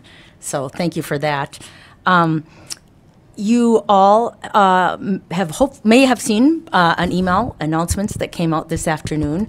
You all know that our current uh, assistant superintendent Troy Miller uh, won a superintendent job in New Richmond, Wisconsin. We're so excited for him, and also sad to see him go. He's been a long, long-standing part of our team. Last night he was at uh, our Webster closing ceremony. And I went up to him and said, Is this like, this is your life, Troy Miller? Because if you don't know, he grew up as a student at Webster, later became a principal for many, many years at Webster, and then an assistant superintendent. And so there is, uh, I remember him telling us last night there was somebody there who was his teacher when he was a student. So that was pretty fun. Um, really an, uh, exciting time for him and a loss for us. And with that, um, just this afternoon, we made the announcement that we will have actually, we're going back to the two assistant superintendent model, not adding a member to cabinet. But, and I mean additional person to cabinet, but we are going to organize some things to maximize all of our gifts and strengths and talents. So we will have Tricia St. Michael's, who will still oversee uh, student services and special education, but she's going to take on some supervision of elementary and early childhood schools as well. And Principal Ty Thompson from Tartan High School is going to be our assistant superintendent for secondary programs, as well as our Office of Research Evaluation and Assessment and our equity office as well. So uh, couldn't be more excited for their leadership. But that also creates uh, a new opening uh, for a principal at Tartan High School. And I will tell you, the announcements just came out today, and literally since four o'clock, I've gotten messages from people in other districts asking about that vacancy. I'm really hopeful we can cast a really wide net and draw some really great talent. Um, you may also be aware, because we sent in a message out at the end of last week, that we also now have a vacancy for a principalship at Carver Elementary. Um, our beloved Gina Abramson has decided to step down um, from her role as principal, and um, she still wants to stay on with us, but has opted to choose a different um, a different role for herself. And so that position got posted on Monday. And again, I, I'm just amazed at how many people from other districts who already are sitting principals are emailing interested in the position. So I think that's going to be a really exciting time. We have, you know, it's going to be really a fun time. And both um, both communities will have voice and, and input in, in the selection process, but it's going to be um, a whirlwind of activity in the coming few weeks. So um, when you find time, be sure to congratulate our new assistant superintendent, Ty Thompson, Cha- uh, Cha- Ty Thompson, and uh, Tricia St. Michael's. And uh, we're really, really excited for their leadership and, and so many wonderful things happening in our district. So those are big announcements that just came out this afternoon. We were trying to coordinate all the timing. Um, so that's all kind of exciting. Um, another thing I wanted to share with you, um, just got word this morning that uh, you know the U.S. News and World Report publishes every year their annual list of top high schools in the country and per state, and I'm very excited and pleased to share that both Tartan and North landed in the top 10% of Minnesota high schools for 2022, and we're so thrilled. Yes. Not only that, but um, thanks to May's amazing efficiency, um, I asked her if she could do a little sleuthing for me today, and she spent some time unbelievably quickly digging into um, the data of the other schools that scored above us, or you know, landed above us in that top ten percent. Um, only one, and it's not a dist- public school district; it's a charter school, uh, has anywhere near the diversity we have. So the vast majority of those schools that were um, in that top 10% range are very, very um, predominantly white schools in very affluent communities. And I'm just so unbelievably proud and thrilled that we hold our own in that environment. And it's something that we are going to make sure lands on every social media page we have and gets the word out. And you better believe I'll be quoting that at our graduation when we give a little welcome to everybody and, and every audience we can speak to. So just so pleased and proud of everyone's hard work during this pandemic. Um, sometimes we feel like we're not doing enough, and we never really are. But it's still really, really amazing to see that come out. It just came out, so I'll be I, I'll be sharing you the whole list and sending that article out as well. So, so grateful for that. Um, just beaming proud of those folks who've done all that hard work.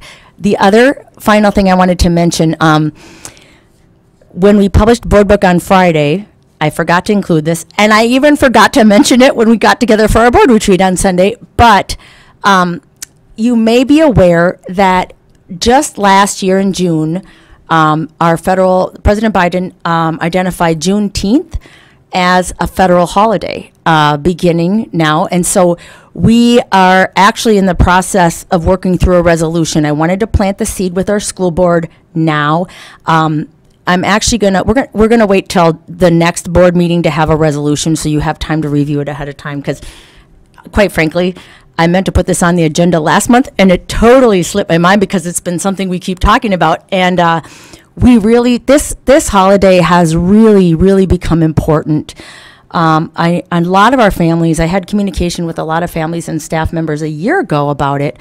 Um, you know the vast majority of school personnel don't work on that holiday in June, but we know there are for those year round employees. And also, we've already made arrangements not to schedule summer programming on that holiday for because there's a lot of picnics and community gatherings that take place, and we want our students to be able to be with their families for those events. So, um, we will be bringing that uh, back to you for official resolution and adoption if you are so willing to pass that uh, at our next school board meeting, but I'd like to open that up for questions or comments. I did have Paul already run some numbers on what might financial implications be if that became a paid holiday, for example, for those year-round employees such as custodians who work through the summer. And um, if we're looking at our, our year-round full-time employees, I think we agreed it was fairly nominal amount that would cost us if we did that, and and we felt like it was fairly really important for us to to make that statement to our community and, and honor that date, um, and you know really try to uh, draw attention to such an important date. So, uh, questions, comments? We'll we'll put a lot of information out in our uh, our resolution, um, but we're really excited to take this this bring this forward as a holiday for our school district. I think you need this. Well, I just think that as the largest employer, one of the largest employers in our school district, I think we have an obligation to set um, standards of of employment, and I think that uh, recognizing this holiday is an example of the way we can lead um, other employers in our district to to also um, accept and follow the same standards. Um, I think it's something we could have done years ago instead of waiting for President Biden to do it first. But um, I just think that it's, as the largest employer, I think we have a, an obligation to accept and acknowledge certain standards, and I think this is one great way to do that.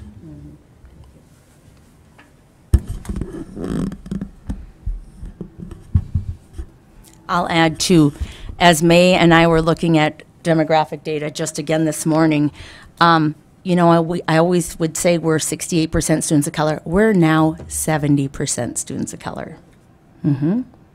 Pretty exciting. Alrighty. All right. Uh, Go ahead, Charlotte. I want to know um, if you have a quick update about COVID. Um, COVID, because there's there's been talk about COVID um, in, increase or you know some strands that are out there, and do we you know? I, I just want to hear about your perspective. Um, you know, someone asked me recently, uh, was it maybe when we were talking over the weekend, um, are we going to be able to do a graduation ceremony in person? And we all went, no, we're not canceling. Uh, I think it, it's so hard. It's the roller coaster ride has been so hard. I, I do, I will say we're watching the numbers very carefully, um, not just what we're seeing in terms of community transmission. Those numbers are bubbling up. Um, and at the same time, we are not seeing uh, nearly the uptick in staff and student illnesses at the ti- at the at this time. Um, but we're monitoring it very closely. Um, and I will say this, you know, as we head into, you know, May becomes this month of many, many different events. Um, and we're going to be very strongly encouraging masking. Um, and quite frankly, depending on where the numbers are, we may end up requiring masks at graduation. We're monitoring that closely. I think, um, you know, we want to make sure that we maximize every opportunity for our students to have in-person events like we've been doing, but we're going to have to really take turn take time to think about um, those really larger gatherings. And you know, a, a graduation ceremony, and you know, we're doing it indoors this year again, back to the Aldrich Arena, and um, you know, that's a lot of people in one space, and we definitely want to make sure that we're maximizing all safety precautions. Um, but we're monitoring it very closely and and hoping and praying that the numbers go back down again. But I, I, I will agree. I mean, I every day I watch the news and I keep thinking, oh, please, please don't let this bubble up again. Let us at least get to our end of school year. One thing I say, I, I do feel helps us. You might recall this year we have a longer summer vacation than we have previously because we started before Labor Day because of construction and we're starting school after Labor Day this summer. And the goal was to give us the longest summer possible this year. And as you just heard from our construction planning, and Sarah's probably had about 17 heart attacks since she started working with us in November about our timeline. So um, I'm hopeful that at least by um, getting us out a little earlier than probably some of our neighboring districts, maybe we can get ahead of that big surge that happens. Um, but we're watching very, very closely, um, really carefully monitoring, and I, I sure, sure hope things can turn around quickly. But um, we're going to continue to communicate around vaccine opportunities and whatnot for families and students. But it's um, it, it's one of those things that kind of keeps me up at night because we've gone through so much ups and downs and drama and opinions and people feeling upset about decisions we make and we're always monitoring that so but again i've always said when we removed our mask mandate i always said we'll bring it back if we have to you know and it's not a popular decision that's for sure but we're definitely going to watch really closely thank you for asking that question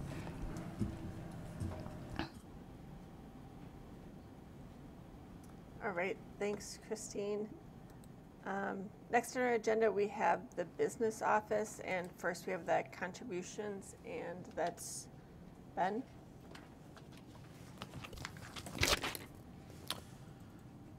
Minnesota Statute 123B point zero two permits school boards to, quote, receive for the benefit of the district bequests, donations, or gifts for any proper purpose and apply the same to the purpose designated. In that behalf, the board may act as trustee of any trust created for the benefit of the district and for the benefit of pupils thereof. Therefore, the Director of Finance recommends the following resolution. Be it resolved by the board, the School Board of Independent School District Number 622 that the school board accept with appreciation the following contributions and permit their use as designated by the donors. The first donor we have is Barbara Rube in the amount of $100 for the purpose of Meals on Wheels. Sharon, Sharon Sobzak, Sobchak, in the amount of $10 for Meals on Wheels. Ideal Credit Union Community Foundation, in the amount of $1,500 for Meals on Wheels. Michael Joseph William Wydell, he is donating a two, 2010 Pontiac four-door sedan. And this will be going to the North High Industrial Tech Auto Shop. Burwald Roofing Company in the amount of $500. And the purpose will be for North School-Wide Service Day. Next, we have Robert and Diane Dufrenzy in the amount of $1,000 for the North School-Wide Service Day. We also have Minnesota Women's Care PA in the amount of $500 for the North High Avid program. We also have the not the COP Family Foundation in the amount of $2,000 for the North High Scholarship. And last but not least, Shutterfly LLC in the amount of $1,000 for the purpose of North High Scholarship. This brings the total fiscal year 2021 2022 monetary contributions to the total of one thou-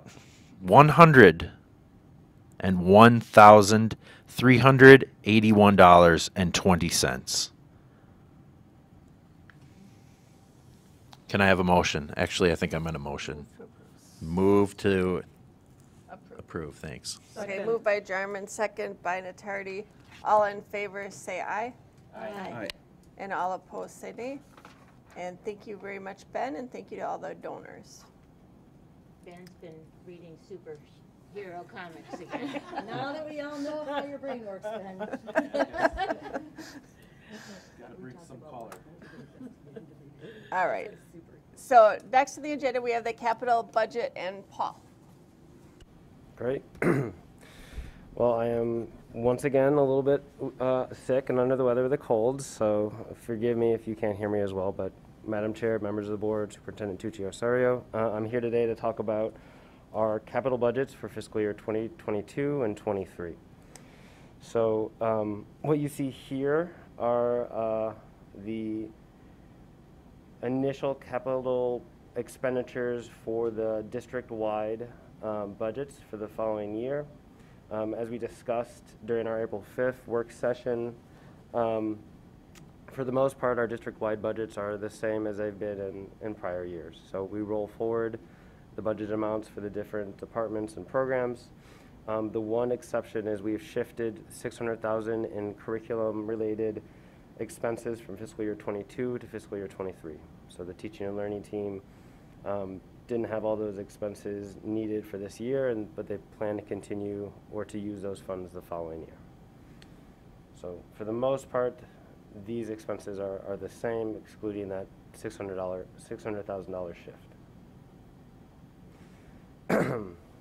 for our building budgets at our school sites, both the building and athletic programs are based on enrollment, and so these are varying from year to year because of the enrollment projections that we have for fiscal year 23.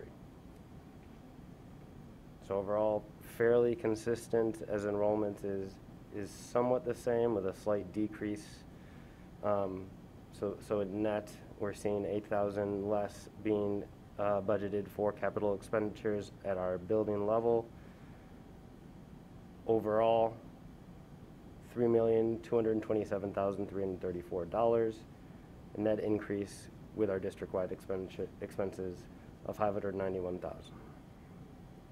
So that would take our fund balance from the projected nine million, one hundred twenty-five thousand, three hundred and twenty to seven million, eight hundred and forty-six thousand, four hundred and nine dollars. And then the last component of the capital budget are our leases and assessments, and these are either just our scheduled payments for the upcoming year or what are updated uh, city-based assessments that um, we're obligated to pay. So uh, the net total for that is two million four hundred six, four hundred sixty-seven thousand seven hundred eighty-eight, or a change of two hundred thirty-one thousand, um, uh, a, a decrease of two hundred thirty-one over the revised budget for this year. So across all three of those components, our district-wide, our building level, and then our leases assessments, the total capital budgets and lease and assessments come down to five million, six hundred ninety-five thousand, one hundred twenty-three, or a net change, a net increase of three hundred sixty thousand, four hundred eighty-eight.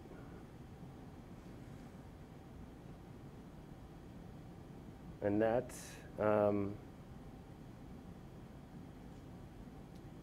that's the, just the one component of, of next year's budget that we're, we're hoping to have approved today so that our departments, our buildings can begin planning for some of these expenses that need a little bit of more of a lead time.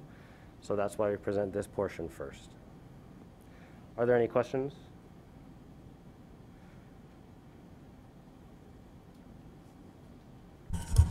As just a reminder for anybody who is a viewing, the vast viewing public, um, you know, rather than take our, don't chuckle, there are people watching. right? Josh can tell you there's one apparently. Um, it's Amy Coburn, probably, right? She's a former board member. Um, but I will say, um, rather than give you the entire budget to approve at the June board meeting, which would be a long process, we do try to bring you pieces of it throughout the spring for your approval so that we can move forward with pieces of it. Of course, uh, by law, we have to have that balanced budget by the end of June, but, so Paul's bringing to you this part, just, just for reference, that we usually do these in portions along the way through the spring months. Oops. Paul, is it all right? I, I don't have a question about the capital. Sure. Can I ask you about the overall budget? Sure, yes. Nancy, could you now turn your mic on, please? Just so we can make sure the on, yep, s- so we can hear you on the recording. Okay, now the green is on, but also put- touch this one too. Oh, both ones? Oh, and now we're good. Oh, okay. All right. So, um, you know, I work at the Senate, right? And so there's this big discussion about, um, y- you know, do schools need part of this nine point seven billion dollar surplus that the state has, right? Nine point seven billion. And one party says schools need no additional money. Another party says they need, you know, hundreds of millions of dollars of additional money. So they're very far apart. And we've been talking about districts having budget shortfalls.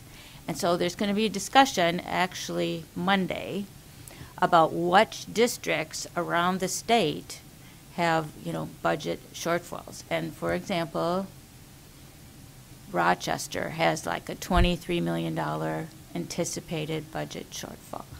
Um, and I think you've presented a little bit about this in the past, but can you say s- some more about that to us, about what our, what you anticipate for us?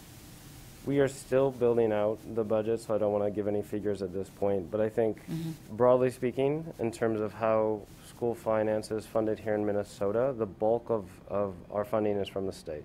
And, and most of that comes from the basic formula allowance that is only scheduled to increase by 2% next year, right? So So we are tasked with managing this time of inflation um, um, of, of kind of large scheduled wage increases for our various um, staff groups that are far above that 2% increase in revenue.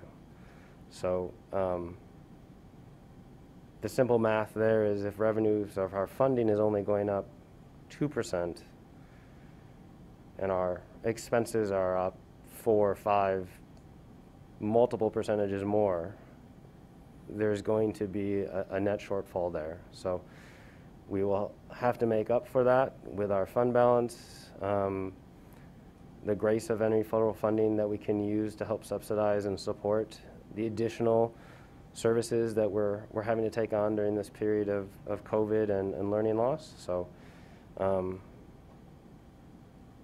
initial enrollment projections are, are, are decreasing for us as well, projected to decrease. So most of that 2% increase is almost negated by our decrease in enrollment.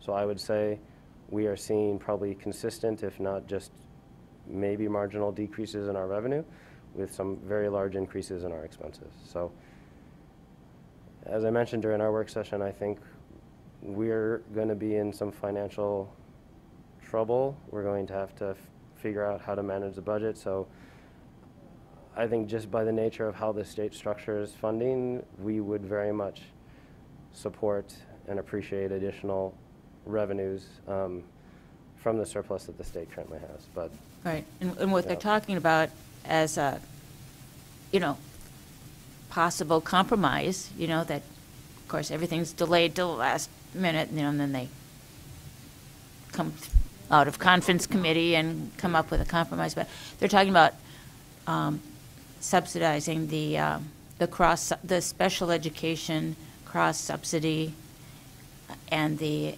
English la- language learner cross subsidy. So would that help us if, It would certainly help, but I mean, I think that's, um, there's multiple components, I think, that, that are challenging for us. So again, if our revenues are fixed, we're at the whim of whatever the other expenses. And so I think structurally, those cross subsidies are just uh, a burden that we have to use our general funding to support, right? And so compounding that with, with COVID and the other challenges of our current time, um, that will help is not probably going to get us the whole way. But yes, of course, eliminating that cross subsidy, reducing that would be very, very much supportive. if I could just add for reference, um, our special, and again, the cross subsidy means the amount that you have to spend on a program by law and that you don't get reimbursement for. And our cross subsidy, at last time I checked for special education, was around 14 million in District 622. And our cross subsidy for EL programming was 1.4 million. And I, those were numbers I wrote down like last, early last fall, so I'm sure they've even gone up since then.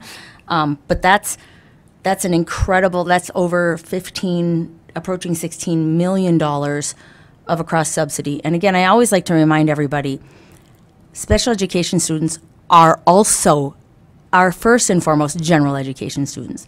Special education programming is in addition to general ed programming, so they're not different students, but they're extra services, and the same for EL students. And um, so that that cross subsidy is incredibly high, um, and it's it's definitely um, a piece that. Uh, for districts with higher numbers of students qualifying for special education services and EL services, the cross subsidy uh, impact is greater, like ours.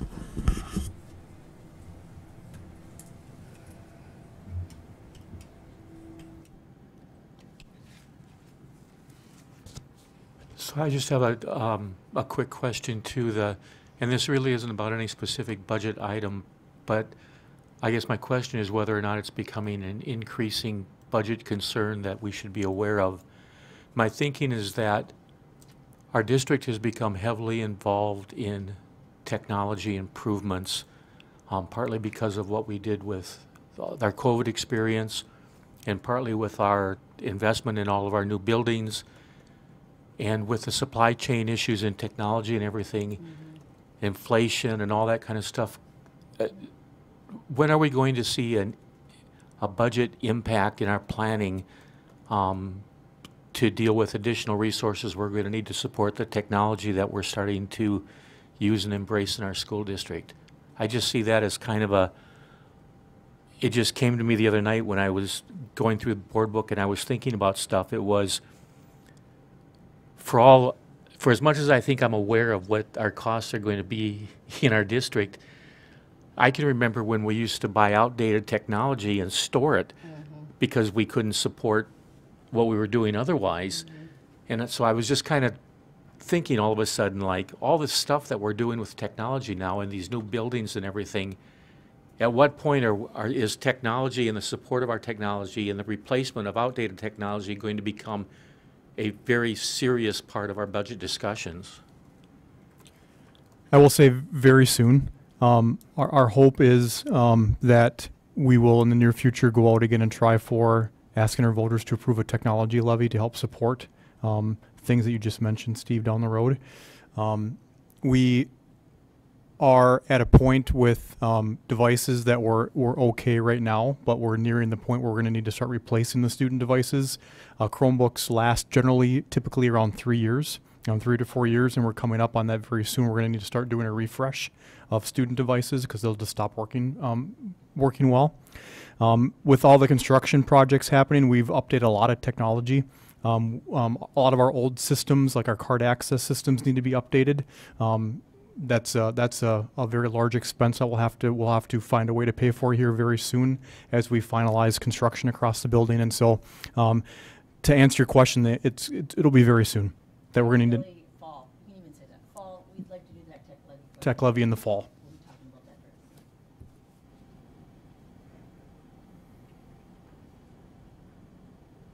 All right, Paul, thank you for presenting on this again, and thank you for taking our questions at the study session. I Thank hope you. you feel better. Thanks. Yeah, thank you, Paul. So I'll read the resolution. Be it resolved by the School Board of Independent School District Number 622 approves and adopts the 2022-2023 capital expenditure budget as per the attached capital budget plan. Can I get a motion and a second to approve? So moved. Moved by Anderson, Second? second by Livingston. All in favor say aye. Aye. And all opposed say nay. And that budget is approved. Thank you again, and thank you to Paul again. Um, Next, we have human resources, and we have the termination of probationary teachers. Um, Emily, do you want to speak to that, or? Good evening, Chair Yenner, members of the board, and Superintendent Tucci Osorio. Um, I have two resolutions tonight. The first one is termination of probationary teachers. And at the end of every school year, we look at all our probationary staff, and those are the individuals that, um, if we're non-renewing them, we list them as you see on the resolution, and um, it is your responsibility to accept the resolution to non-renew them for the 22-23 school year. And this is based on assessments of right sizing and um, making a decision to reduce that number of staff. All right, thank you. I believe this is a roll call vote, right? No? Isn't it? I think it's a roll call vote. Yes, last year it was a roll call vote as well. Um, So I'm going to read, Caleb, do you have a question? Uh, yeah, I just wanted to confirm, so for this, uh, the teachers that we'd be letting go, they're teachers that started in the last year, right? Or they're newer Could be, teachers they're at still least? probation, they're still within their probationary period. Okay, Yep. thank you. Thank you. Okay. So I'm going to read the resolution. Be resolved by the School Board of Independent School District Number 622 that pursuant to Minnesota Statute 122A dot 40, is that 40, yeah, subdivision 5, that the teaching contracts of these probationary teachers are hereby terminated at the close of the 2021-2022 school year and non-renewed for the 2022-2023 school year effective June 3rd, 2022.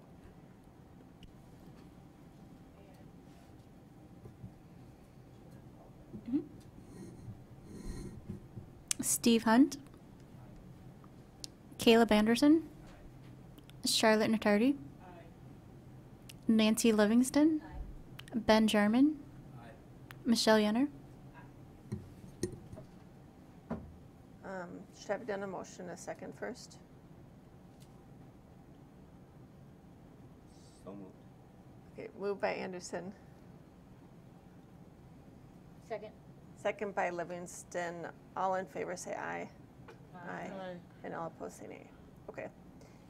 Thank you. Um, The next one is termination of added teacher assignments. Yes. So each year, the added work assignments and extracurricular assignments from the teacher contract are discontinued effective at the end of the school year. The purpose of this action is so that these assignments are not construed to be part of the continuing contract assignment for those teachers. Um, this also provides additional protection from the adverse effect of extracurricular assignments in the next school year when funding for these services remains uncertain. So I recommend that the resolution to terminate the added teacher assignments be approved. All right, thank you. Any questions, or comments on this one? Um, Since there's no individuals listed, I don't think that we need a roll call for this one, right? Right, you would just, The regular. yeah.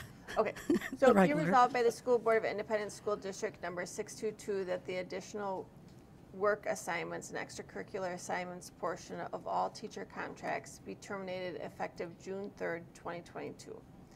Can I get a motion and a second? Okay, moved by Jarman, Second. second by Natardi. All in favor, say aye. Aye. And all opposed, say nay. Okay, that motion also carries. Uh-huh. Uh, Michelle, Director of the Board, can I just make a quick um, point of clarification? I think it's, um, I, I know when I first came to School District 622, you know, every contract's different, right? Every bargaining group, every contract language. And so I just want to point, offer a point of clarification. Um, when we talk about the non-renewal of probationary teachers, uh, it's really in honor of our contract language. Our, our current contract states that um, when a position becomes open, that our existing teachers who have the, the licensure for that position have the right to bid into that spot based on their seniority. Um, a few years back, we, um, we worked out an arrangement that after a certain point, uh, when school's about to start or has already started, we stop that domino because let's say a kindergarten teacher retires at the end of September. And if all of a sudden somebody else could bid into that, it would leave their class empty, right? And it would cause a domino of change. And, and, and the whole intention was to kind of stop the domino once a class year, a, a school year is begun. And so what happens is when a teacher then is hired to replace a teacher who vacates a classroom, for example, uh, early fall or anytime during a school year, that one year only just basically means that person was hired, um, but we have to release them from that position to allow uh, tenured staff in the district to be able to bid into that spot. Um, so when we hire these teachers, they do know that um, it's not a continuing contract initially, but in the vast majority of cases, we do keep them and, and often in the same position, but um, we have to allow that process to play out. And so that's that's what that means. I just want to be clear that it's not a it's not like we're releasing a whole lot of people for performance issues. It's because we're honoring the contract language, and um, this is a way of doing it. And and we do reassure those teachers who fill those spots. Um, you very likely have a spot here. Uh, we just have to follow this process first. In many cases, they even have they even remain in the same spot. I just wanted to clarify that because I didn't want to give the impression that that a huge number of folks are underperforming. People are released for um, financial reasons, uh, maybe a program's changed or the need, you know.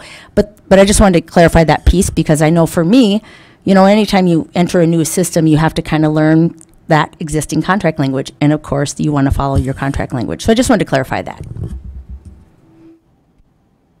All right, thank you, Christine, and thank you, Amy Lee. Um, Next on the agenda is board communications. Ben, do you want to start?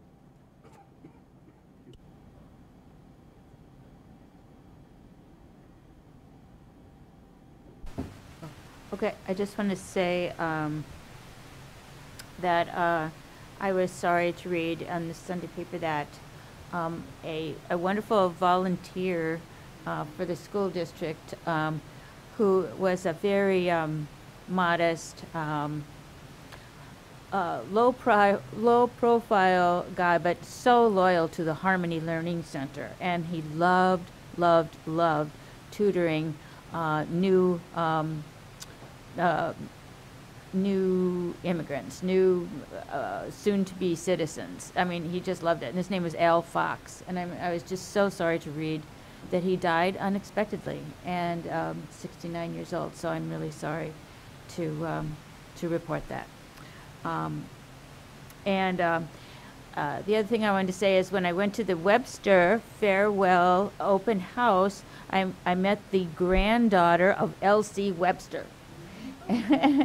and she said that um, uh, Elsie Webster was a former board chair. So maybe we'll have to name a school after our present board chair. No, I don't know. We, we don't really do that anymore. But, um, uh, but at any rate, uh, and she was there with her daughter and her and her daughter's um, son. So three generations of Elsie Webster people were there at the um, at the at the um, at the farewell event, which, by the way, was very upbeat, and um, I ran into a lot of my own kids, former teachers, and so on. Um, and yeah, so I just want to say that uh, I enjoyed the retreat. I'm really glad we're going to do more recognitions like we had this evening. Uh, I think um, it's just a shot in the arm to uh, realize all the good people in our district that are doing so many so many positive things and um, and also I'm glad um, that um, we're committed to um, encouraging every student to get involved in some activity or sport and we talked about that and uh, so I'm really glad that we're pushing forward with with that as well so uh, that's all thank you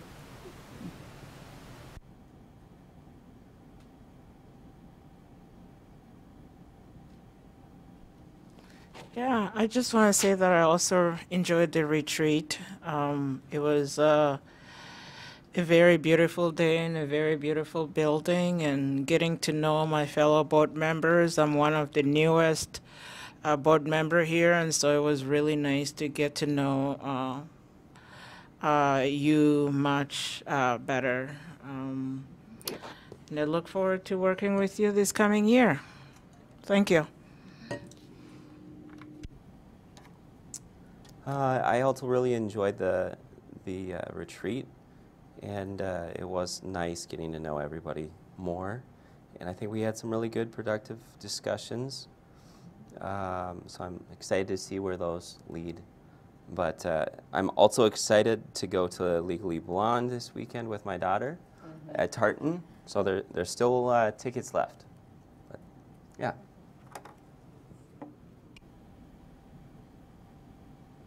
All right, I just have one thing, which is tomorrow is Administrative Professionals Day.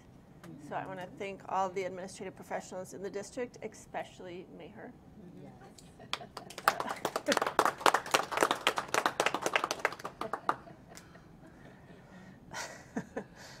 All right. Then we have future board meetings. We have May 17th, 2022, a business meeting at 6:30 PM in the boardroom. And that is all unless there's any other comments. study session? When's the next study session? Yeah, we were gonna talk about, Okay. we're gonna talk about the fact that it's gonna be online. Do you know offhand when our next study session is? We don't actually have one in May because of all the evening events and graduation ceremonies in May. Oh, in June. So we can talk about it at our next meeting then. Okay. It'll be on the, ca- okay, thank you. Anything else? Um, if not, can I get a motion, a second to adjourn? So moved. Second. Moved by Natardi, second by Livingston. All in favor, say aye. Aye. And all opposed, say nay. Motion, or meeting's adjourned. Thanks very much, you guys. Stay healthy out there.